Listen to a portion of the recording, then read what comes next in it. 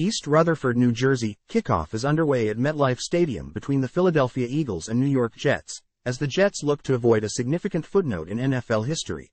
The Eagles have never lost to the New York Jets since the teams first squared off in 1973, a perfect 12-0 mark against the team that shares a stadium with their longtime rivals in the Meadowlands. Philadelphia looks to make it 13 in a row against the Jets Sunday, which would be the longest win streak to start a head-to-head matchup in league history.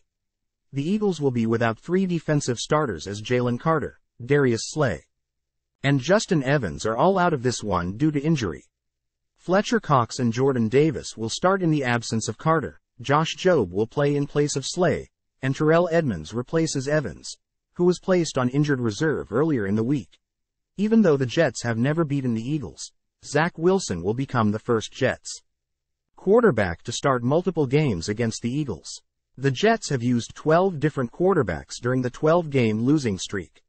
New York won't have DJ Reed, concussion, while Sauce Gardner, illness, was on the injury report as questionable. Can the Jets finally beat the Eagles or will Philadelphia make it 13 straight against New York? Real-time updates and analysis from the Meadowlands will be provided in the live blog below.